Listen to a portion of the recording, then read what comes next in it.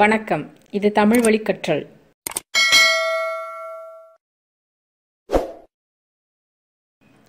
வணக்கம். இது தமிழ் வழி கற்றல் ஏழாம் வகுப்பு ஆங்கில பாடத்துக்கான நேரம். பருவம் மூன்று. இதில் வழக்கம் போல் மூணு யூனிட் இருக்கு. முதல் இரண்டு யூனிட்ல ஒரு ப்ரோஸ் ஒரு போயம் ஒரு சப்ளிமெண்ட்ரி முதல் ப்ரோஸ் வந்து ஜேர்னி பை ட்ரெயின் அதுதான் இப்போ நம்ம பார்க்க போகிறோம் எழுபத்தி ஒன்பதாவது பக்கத்தில் ஜேர்னி பை ட்ரெயின் முதல் பாடம். அதில் பாருங்கள் ஒர்க்ஸ் இன் பாஸ் பேஸ்னால் ரெண்டு ரெண்டு பேராக வேலை செய்யுங்க அப்படின்னு அர்த்தம். சூஸ் சிக்ஸ் ஐட்டம்ஸ் இதில் வந்து ஒம்பது ஐட்டம்ஸ் கொடுத்துருக்காங்க. அதில் ஆறு ஐட்டம்ஸ் மட்டும் எடுங்க. Which are essential for a camp கேம்புக்கு எதெல்லாம் முக்கியமோ அதெல்லாம் எடுங்க அப்படின்னு சொல்லியிருக்காங்க. Rank their priority and justify your answer எதெல்லாம் முக்கியமோ அதை வந்து வரிசைப்படுத்துங்க. ஃபஸ்ட்டு எது முக்கியம் அதுக்கடுத்தது எதுன்ட்டு ஆறு பொருள்களை வரிசைப்படுத்துங்க அப்படின்னு சொல்லி சொல்கிறாங்க ஓகே அந்த ஒன்பது பிக்சரில் எனக்கு தெரிஞ்சு இந்த அடுப்பும் வாட்சும் தவிர மீதி எல்லாம் தேவைன்னு தான் நினைக்கிறேன். நீங்கள் உங்களுக்கு தோன்ற மாதிரி வரிசைப்படுத்திக்கோங்க ஓகேயா அடுத்தது எண்பதாவது பக்கத்தில் section one journey by train journey by train அப்படின்னா ரயில் பயணம் அப்படின்னு அர்த்தம். ஜேர்னினா பயணம் பை ட்ரெயின் ரயில் பயணம். திஸ் எக்ஸ்ட்ராக்ட் இஎக்ஸ்டிஆர்ஏசிடி எக்ஸ்ட்ராக்ட் அப்படின்னா ரிமூவ் அப்படின்னு அர்த்தம். விளக்குதல்.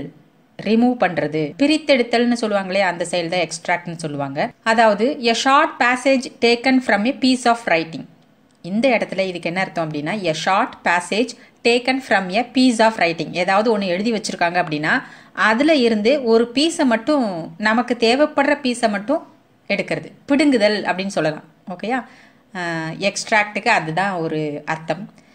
அதாவது ஒரு எழுத்து எழுதி வச்சிருக்கிறதுல இருந்து நமக்கு தேவைப்படுற ஒரு குறுகிய பத்தியை மட்டும் எடுத்து வச்சுக்கிறது. இதுதான் extract is taken from a classic classic அப்படின்னா தரமான அப்படின்னு அர்த்தம். சிஎல்ஏ எஸ்எஸ்ஐசி கிளாசிக் அப்படின்னா தரமான அட்வென்ச்சர் நாவல் அட்வென்ச்சர்னா சாகசம்.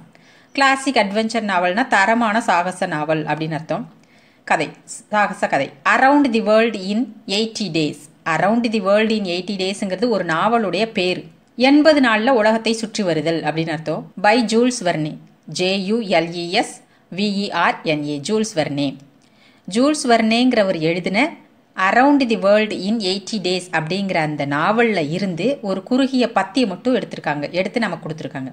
And English man mister Phileas Fogg அதாவது மிஸ்டர் பிலியாஸ் ஃபோக் அப்படிங்கிறவர் ஒரு ஆங்கிலேயன். Along with his French attendant அவருக்கு ஒரு அட்டண்டன்ட் இருக்காரு. அவர் ஃப்ரெஞ்ச் அட்டண்டன்ட் அதாவது இவர்கிட்ட அட்டண்டண்டா இருக்கிற ஒரு ஃப்ரெஞ்சு பர்சன் தான் Passepartout Passepartout P A S S E P A R T O U T Passepartout அந்த அவுட்டுங்கிறத வந்து தூ அப்படிங்கிற ஒரு ப்ரொனன்சியேஷனில் ஃப்ரெஞ்சுக்காரங்க சொல்லுவாங்க. Passepartout attempts to go around the world in eighty days attempts A T T E M P T S attempts அப்படின்னா முயற்சி முயற்சிகள் அப்படின்னு அர்த்தம். To go around the world உலகத்தை சுற்றி வர்றதுக்கான முயற்சிகள்.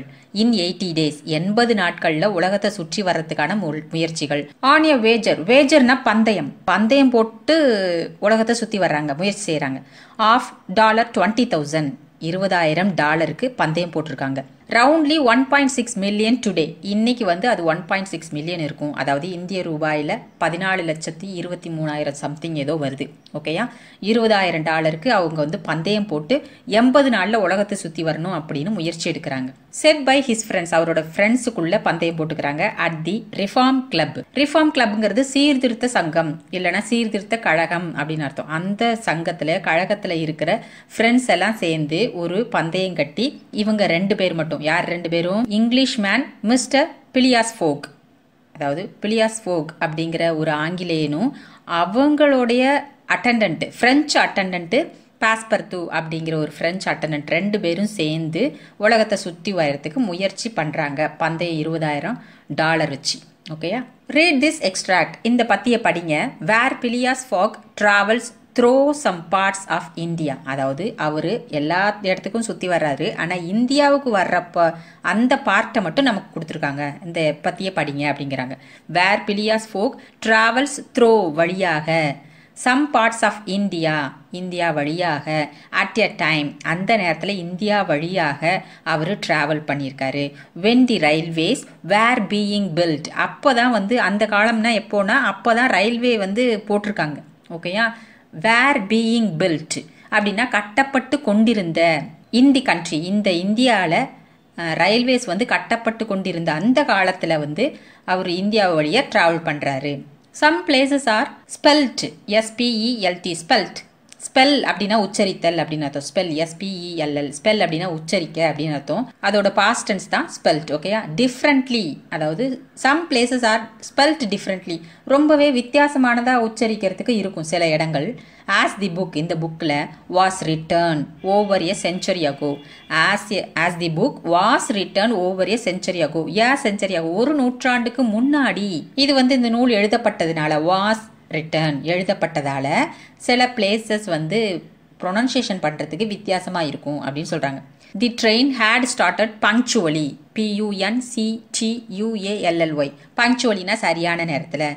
அந்த ட்ரெயின் வந்து சரியான நேரத்தில் புறப்பட்டுருச்சு. ஏன் அங்கே சரியான நேரத்தில் அப்படின்னு குறிக்கிறாங்கன்னா எண்பது நாளில் திரும்பி வரணும் இல்லையா? ஸோ அந்த ட்ரெயின் வந்து சரியான நேரத்தில் தொடங்கிருச்சு. ஹேட் ஸ்டார்டட் தொடங்கியது. அமங் தி பேசஞ்சர்ஸ் பிஏஎஸ்எஸ்இஎன்ஜிஇஆர்எஸ் பேசஞ்சர்ஸ் அப்படின்னா பயணிகள். அமங் தி பேசஞ்சர்ஸ் அப்படின்னா பயணிகளில். வேற நம்பர் ஆஃப் ஆஃபீஸர்ஸ் அதாவது அதிகாரிகள் ஒரு குறிப்பிட்ட அளவுக்கு அதிகாரிகள் இருக்காங்க. கவர்மெண்ட் அஃபீஷியல்ஸ் அரசு அதிகாரிகள் இருக்காங்க. அண்ட் மெர்ச்சன்ட்ஸ் எம்இஆர்சிஹெச்ஏஎன்டிஎஸ் டிஎஸ் மெர்ச்சன்ட்ஸ் அப்படின்னா வணிகர்கள் அப்படின்னு அர்த்தம். ஓகே மெர்ச்சன்ட்ஸ் இருக்காங்க. இந்த பயணிகளில் இவ்வளோ பேர் இருக்காங்க. Passepartout rode in the same carriage அதாவது பாஸ்பர் டூங்கிறவர் அந்த அட்டண்டன்ட் அவரும் வந்து சேம் கேரேஜ் அதே வண்டியில் தான் ரைட் பண்ணுறாரு ride rode ridden okay ரைடுங்கிறது present tense R O D ரோடுங்கிறது past tense பயணித்தார் சவாரி செய்தார் அப்படின்னு அர்த்தம். ஓகே அதே கேரேஜ் சேம் கேரேஜில் தான் பாஸ்பர் தூவும் வித் மிஸ்டர் ஃபோக் அந்த ஃபோகோட மிஸ்டர் ஃபோகோட இந்த பாஸ்பர் தூவும் சேர்ந்து பயணித்தார். And a third passenger occupied occupied அப்படின்னா ஆக்கிரமித்தார் அப்படின்னு அர்த்தம். Past tense ஆக்கிரமித்தார். Third passenger a seat opposite to them மூணாவது ஒரு பேசஞ்சரும் அவங்களுக்கு ஆப்போசிட்டா எதிரில் இருக்கிற ஒரு சீட்டை அவரு ஆக்குபை பண்ணியிருக்காரு this was sir Francis Cromarty Francis Cromarty எஃப்ஏஆர்என் CIS Francis Cromarty சிஆர்ஓஎம்ஏஆர்டிஒய் Cromarty Francis Cromarty அங்கே மூணாவதாக உட்காந்துருக்கிற அந்த ஆளோட பேர் Francis Cromarty one of the friends mister folk mister ஃபோகோட friend நண்பர்களில் இவரும் ஒருத்தர்.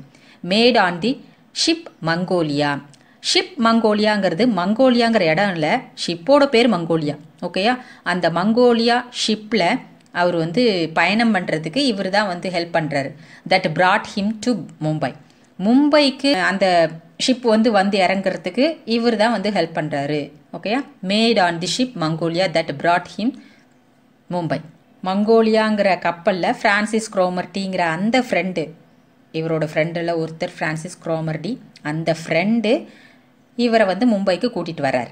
And are after leaving Bombay அப்போலாம் பாம்பே தான் இல்லையா? இப்போ தான் Mumbai. And are after leaving Bombay the train அதாவது பாம்பேயில் வந்து இறங்கியாச்சு. அந்த பாம்பேயை விட்டு கிளம்பியாச்சு ட்ரெயினில் அப்படி கிளம்புன ஒரு மணி நேரத்துக்கு பிறகு ஹேடு பாஸ்ட் தி பிரிட்ஜஸ் அவங்க பாலங்களை கடக்கிறாங்க. ஹேடு பாஸ்ட் கடத்தல் கடந்து விட்டார்கள். பிரிட்ஜஸ் பாலங்களை கடந்துட்டாங்க. And the island of Salsette S A L C E T T E Salsette சால்செட்டுங்கிறது ஒரு தீவு ஐலாண்டுனா தீவு ஓகேயா பிரிட்ஜஸ் பாலங்களை கடக்கிறாங்க. ஐலாண்ட் ஆஃப் சால்செட் அந்த சால்செட்டுங்கிற ஒரு தீவையும் கடந்து போகிறாங்க இந்த தீவு என்ன அப்படின்னா இந்தியாவோட மேற்கு கரையில் அதாவது மகாராஷ்டிரா மாநிலத்தில் இந்த தீவு அமைஞ்சிருக்கு. மும்பை அப்படிங்கிற பெருநகரமும் தானே அப்படிங்கிற ஒரு நகரமும் இந்த தீவோட ஒரு பக்கத்தில் இருக்குது and had got in to the open country அவங்க இதெல்லாம் கடந்து ஓப்பன் கண்ட்ரிக்கு வந்துட்டாங்க. அதாவது இந்தியா அப்படிங்கிற அந்த நிலப்பரப்புக்கு வந்துட்டாங்க. During the night the train night நேரத்தில் என்ன அந்த ட்ரெயின் எங்கே போகுது அப்படின்னா லெஃப்ட் தி மவுண்டைன்ஸ் பிஹைண்ட் மலையெல்லாம் கடந்து போகுது ஓகேயா during the night the train left the mountains behind அந்த மலையெல்லாம் கடந்து போகுது. அண்ட் பாஸ்டு நாசிக் நாசிக் அப்படிங்கிற அந்த நகரத்தையும் கடந்து போகுது. நாசிக் அப்படிங்கிறது என்ன அப்படின்னா மேற்கு இந்தியாவில் இருக்குது இது ஒரு மாநிலம். மகாராஷ்டிராவில் ஒரு பழங்கால புனித நகரம் அப்படின்னு சொல்கிறாங்க ராமாயணம் அப்படிங்கிற அந்த காவியத்துலலாம் இந்த நாசிக் அப்படிங்கிற இடம் வந்திருக்குது. ஓகே இந்த நாசிக் அப்படிங்கிற நகரத்தையும் கடந்து போகுது. அண்ட் தி நெக்ஸ்ட் டே இதெல்லாம் நைட்டு கடந்து போகிறது next day proceed over proceed அப்படின்னா தொடர்ந்து செயல்படுது அப்படின்னு அர்த்தம். ப்ரொசீட் அப்படின்னா தொடர்ந்து செயல்படு. ப்ரொசீட் ஓவர் அதாவது தொடர்ந்து போகிறாங்க தி ஃப்ளாட்டு ஃப்ளாட்னா தட்டையாக இருக்கிறது. தட்டையாக இருக்கிறது வெல் கல்டிவேட்டட் வெல் கல்டிவேட்டட் அப்படின்னா நன்கு பயிரிடப்பட்ட வெல் கல்டிவேட்டட் கண்ட்ரி அதாவது நன்கு பயிரிடப்பட்ட நாடு. அதாவது அந்த இடத்த அவங்க நாடு அப்படின்னு மென்ஷன் பண்ணியிருக்காங்க. ஃப்ளாட்டாக இருக்குது எந்த மலைப்பிரதேசம் அப் அண்ட் டவுன்ஸும் இல்லாமல் ஒரே சமவெளியாக இருக்குது அங்கே வெல் கல்டிவேட்டட் நல்ல பயிர் செஞ்சுருக்கிறாங்க ஆஃப் தி கந்தேஷ் கந்தேஷ் அப்படிங்கிறது ஒரு நகரம் ஓகேயா with its straggling villages straggling villages அப்படின்னா சமவெளியாக இருந்தாலும் மேடும் பள்ளமா இந்திய கிராமங்கள் எப்படி இருக்குமோ அதுதான் ஸ்ட்ரகிளிங் வில்லேஜஸ் வெளிநாட்டு கிராமங்கள்லாம் ரொம்ப ஒரே சீராக இருக்கும். ஆனால் இந்திய கிராமங்கள் நம்மளுடைய கிராமங்கள்லாம் எப்படி இருக்கும்? ஒரு சீராக இல்லாமல் இருக்கும் இல்லையா? சீரற்ற முறையில் இருக்கின்ற கிராமங்கள். அதுதான் ஸ்ட்ரகிளிங் வில்லேஜஸ் ஓகேயா அவங்க கந்தேஷ் அப்படிங்கிற ஒரு நகரத்தை தாண்டி போகிறாங்க கந்தேஷுங்கிறது இந்தியா மத்திய இந்தியாவில் ஒரு இருக்கிற ஒரு பகுதி. மகாராஷ்டிரா மாநிலத்தில் இருக்குது. ஓகேயா அந்த இடத்துல ஸ்ட்ரகிளிங் வில்லேஜஸ் அந்த ஊரில் இருக்கிற அந்த நகரத்தில் இருக்கிற ஸ்ட்ரகிளிங் வில்லேஜஸ் சீரற்ற முறையில் இருக்கின்ற கிராமங்கள். Above which rose the towers of temples அதாவது மேலே உயர்ந்த கோபுரங்களை கொண்ட கோயில்கள். அதையும் கிராஸ் பண்ணி போகிறாங்க அங்கே என்னெல்லாம் இருக்குது ஸ்ட்ரகிளிங் வில்லேஜஸ் இருக்குது above which rose the towers of temples மேலே உயர்ந்த கோபுரங்களை கொண்ட கோயில்கள். டவர்ஸ் அப்படின்னா கோபுரங்கள். ஓகேயா மேலே உயர்ந்த கோபுரங்களை கொண்ட கோயில்கள் அதுவும் இருக்குது ஓகேயா ஃப்ளாட் வெல் கல்டிவேட்டட் கண்ட்ரியாக இருக்குது கந்தேஷுங்கிறது அங்கே ஸ்ட்ரகிளிங் வில்லேஜஸ் இருக்குது கோயில்கள் உயர்ந்த கோபுரங்களும் இருக்குது this fertile territory fertile territory fertile அப்படின்னா வளமான டெரிட்டரி அப்படின்னா பகுதி சமஸ்தானம் இல்லைன்னா நாட்டாட்சி எல்லை அப்படின்லாம் சொல்லுவாங்க. பொதுவாக பகுதி தான்.